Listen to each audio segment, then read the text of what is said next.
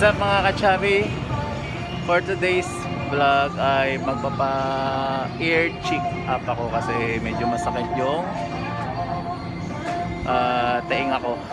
So punta ako kay Doc para for my eye check up. See you. Yan.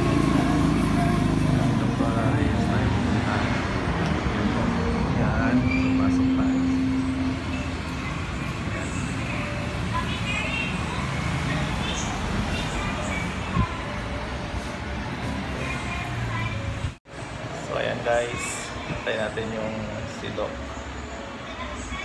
Ah, number 5 ako sa listahan. So, tayo lang natin si Doc. Ayan guys, mukhang nag-aantay tayo ay ah,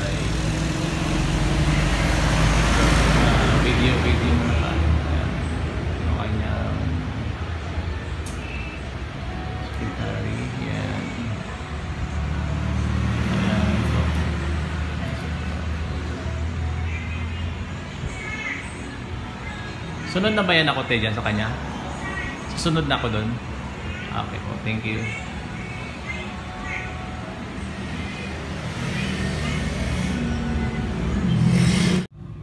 Yan. Kailangan araw-araw. Mhm. Hmm. Ayan po si Doc, Dr. Tor- ah, Reyes. Ayan po.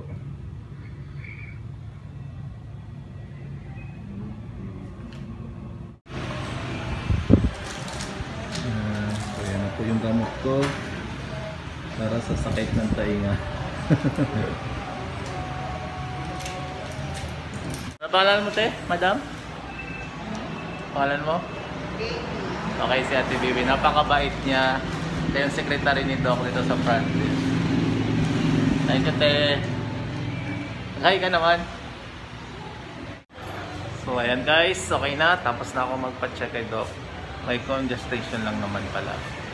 So, niresitahan niya ako ng gamot. 15 tablets. So, yan. So, that's 8. Yan lang muna ngayon mga kachabi yung yung vlog ko for today. Once again, I am Lakwa Charon Chabi. Don't forget to subscribe my YouTube channel, Lakwa Charon Chabi for more updates. Huwag nyo kalimutan i-click yung notification bell. Hanggang sa muli, paalam!